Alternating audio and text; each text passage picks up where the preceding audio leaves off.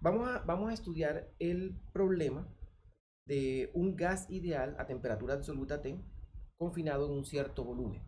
Un cierto volumen.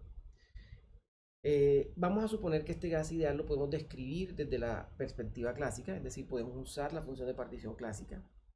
Eh, recuerden que la función de partición que vamos a usar todavía no está dividida por n factorial, es decir, no estamos considerando la corrección que nos permite resolver la paradoja de Gibbs. Sin embargo, eh, esa, esa, discusión la dejamos para, para la semana entrante. Hoy nos vamos a concentrar en la función de partición que acabamos de encontrar. Entonces, como vamos a suponer que tenemos un gas ideal, recordemos que el gas ideal tiene la particularidad que las componentes que lo integran, las moléculas que lo conforman, no interactúan entre sí. Y básicamente la energía de este gas ideal depende de la energía cinética que tienen las partículas. Eso implica que cuando yo escribo la función de energía para el gas ideal, solamente va a estar en términos de la energía cinética de las partículas. Si yo quiero calcular la probabilidad de encontrar el, sistema en una energía entre E y E más delta D, entonces uso la función de partición como eh, lo encontramos en, en, la explicación anterior. Entonces simplemente vamos a hacer el cociente entre un cierto estado ¿sí? Eh, y la función de partición. Y aquí tenemos que hacer eh, el cálculo de la función de partición explícitamente. Vamos a calcular la función de, partición.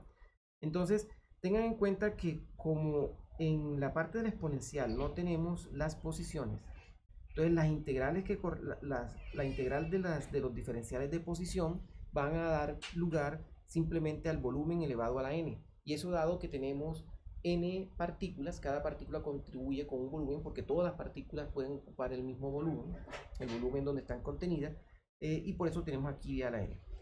Este de aquí sale porque eh, cuando nosotros hacemos el cálculo de la función de partición, lo hacemos eh, lo que acabamos de mirar hace un momento, dividiendo entre el volumen de un estado. Entonces, este, será, este sería el, el volumen para un estado.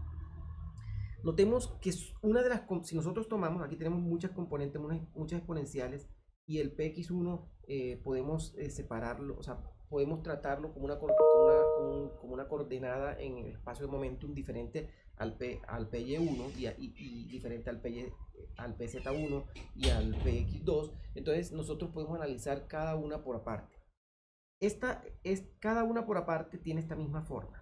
Y esta forma que está aquí es una exponencial de Euler, donde esta exponencial de Euler integrada en todos los valores posibles para eh, momentum, es decir, de menos infinito a infinito, eh, nos va a dar eh, esta expresión. Es decir, el valor que acompaña el valor del denominador, que en este caso sería m dividido entre beta, elevado a un medio por raíz de, de 2pi.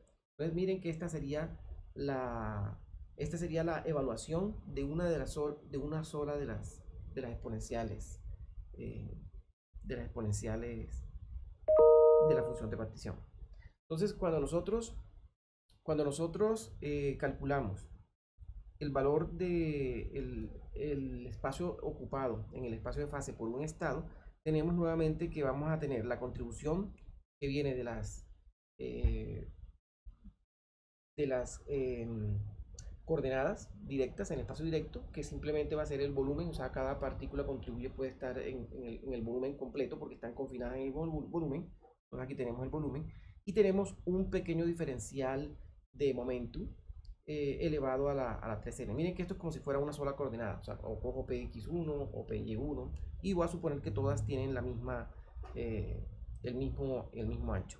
Entonces, como nos interesa estudiar, porque estamos revisando la distribución de Maxwell-Boltzmann de velocidades, la velocidad, entonces vamos a escribir este momento en términos de velocidad, simplemente multiplicamos eh, la masa por la velocidad de acuerdo a la definición del momento. Ahora bien, eh, esto significa que nosotros podemos escribir el volumen ocupado en el espacio de fase por un solo estado de acuerdo a esta expresión. Siguiendo esto, la función de partición, eh, reemplazando en la, en la, expresión anterior, queda de esta manera. Y la probabilidad que nos, está, que nos interesa eh, estudiar para todas las partículas, es decir, para todas las moléculas en el gas, sería el producto o sea, de toda, de el producto, n, n veces el producto de esto que está aquí en verde, que sería la contribución de una única molécula. Esto que está aquí es el diferencial de velocidad.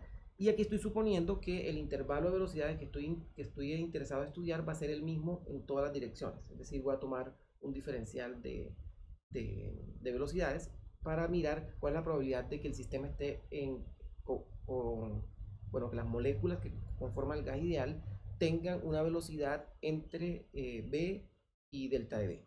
Y estoy colocando B sub 0 como esa, esa velocidad para poder considerar todas las partículas.